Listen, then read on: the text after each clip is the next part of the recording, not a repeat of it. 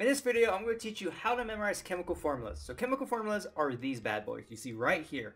I'm not going to focus on how to memorize them in a specific context. So for example, we have this table. You have aluminum, the element ore, and then the formula. So all of these formulas have aluminum in them. So I'm not going to focus on that because there are so many different ways to actually use chemical formulas. And depending on how you're going to use them, you might memorize it in a different way, slightly different way. But what I'm going to teach you in this video is going to work across the whole board and is essentially what you're going to be using when you need to memorize chemical formulas. Alright? So let's get started. So as you can tell, chemical formulas are just a combination of all these different elements that bonded together. And so right here, that's just aluminum. You have two aluminums and three oxygens. Alright? And so how do you memorize this? Well, the first thing is you need to memorize all of these. So you need to memorize that hydrogen is a H, gallium is a Ga, and then, you know, um, ruthenium is Ru. So you need to be able to memorize the chemical symbols for all of the elements on the periodic table because these chemical formulas are just the chemical symbols for the specific elements.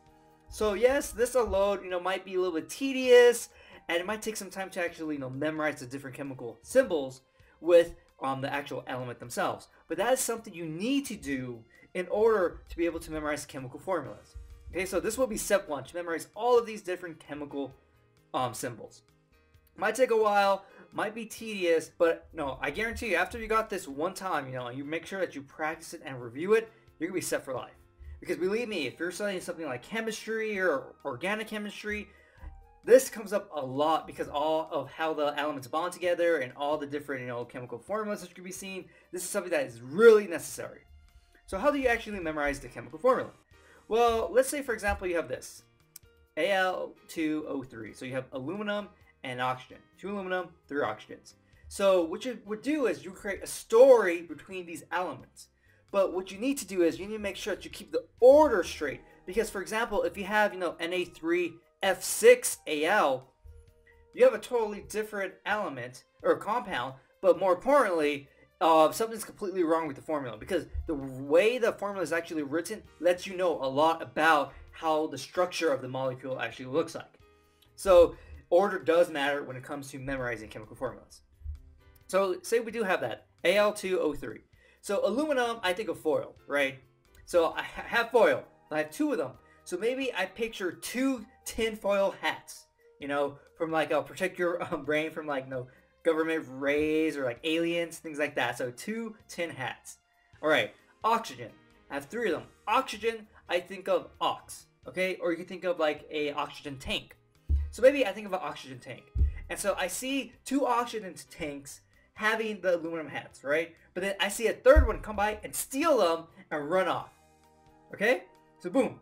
That's, that's I picture. I see these two aluminum hats um, on the counter, two oxygen tanks, put them on. Then third oxygen tank came came along, stole them both, and ran off. Maybe even jumped out a window. Okay? And maybe I'm storing this in the memory palace. Okay? So maybe this is my kitchen. And that's my picture. Boom! So when I need to recall the formula, like, okay, yeah, what was that formula? Ooh. Oh yeah, I saw these two tin hats. Okay. So so that means aluminum, two. Okay, then I saw these two oxygen tanks, put the hats on, and then a third one stole it and jumped out the window. Oh yeah, there was three oxygen tanks, so this will be O3. Boom. Now, like right here, this is the name for this chemical formula. But when you actually you know, study chemistry, there's like a naming system that you use to come up with these different names for all different chemical formulas that you see. And so, you know, this is probably a name because it's very common. You see it a lot. Um, you know, th there's a lot of different chemical formulas. No, you never actually use, so you have to uh, you know, use the naming system to come up with a name for it. But things that are very common that you see all the time has has specific names for it. Not the name that you would use or create from the name system, but just something people decide to call, hey, this chemical formula, this compound is XYZ. Alright? But that is how you would actually memorize chemical formulas. That's the same process for all of these different things. Now, of course, you get a little bit more advanced depending on how many chemical formulas you need to memorize, why you're memorizing them, then the system to how you would actually memorize chemical formulas would be a little bit different because you would want to try to reduce you know, the amount of repetitions of all these images, images that you're seeing over and over again. You know, how about, you know, you have six right here. How can you make those into like modifiers as opposed to, you know, having a number system or seeing, you know, six or five of these different images that you're picturing. So no, this is just a quick, um, I just give you a quick method to memorize chemical formulas. Um, depending, because depending on how you're actually using them, your system for memorizing chemical formulas could get a little bit more complicated, but be more efficient at the same time.